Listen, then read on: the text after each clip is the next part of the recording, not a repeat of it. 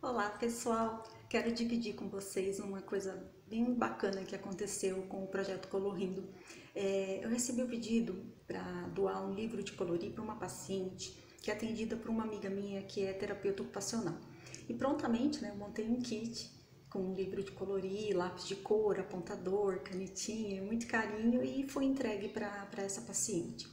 Dias depois eu fui surpreendida com uma cartinha é, escrita pela própria paciente, né? Aí ela contou um pouquinho da história dela para mim, contou o nome do cachorro. E um, eu quero dividir com vocês um relato importante. Ela me disse que tinha dificuldades para dormir à noite, porque ela passava a tarde toda dormindo. E agora, com o kit, ela passa a tarde colorindo e, consequentemente, consegue dormir à noite. Então, assim, eu me emocionei muito também, porque ela me mandou um vídeo é, apontando o lápis.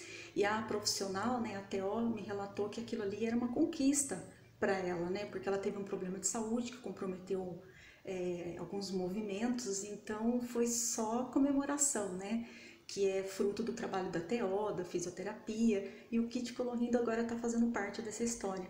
E eu quis dividir com você, com vocês, porque cada um que doou, cada um que compartilhou o vídeo, cada um que apoiou e continua apoiando, continua compartilhando, continua ajudando, seja com doação de material, doação de dinheiro, faz parte de tudo isso, né? Que eu sempre falo que vai além do fato só de colorir. É, um beijo para vocês. Assim que der, eu conto mais histórias, tá?